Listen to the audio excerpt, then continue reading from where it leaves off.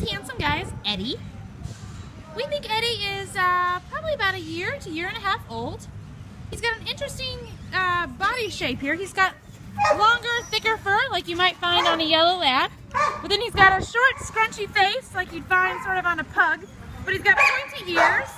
So uh, Eddie here is quite the mixture of mixes. He is very friendly. He figured out very quickly that I am a giver of treats. Yes, it's tasty. So he likes to stay right by me here in the play yard. There's a dog on the other side of the fence who he's been very friendly at. He'll go over and sniff, he'll wag his tail, and then he'll go back to doing Eddie's own business. Eddie's available for adoption or rescue here at Irving Animal Services.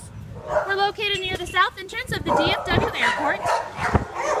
And Eddie can't wait to find his own forever home. You can come meet Eddie and his buddies here at Irving Animal Services.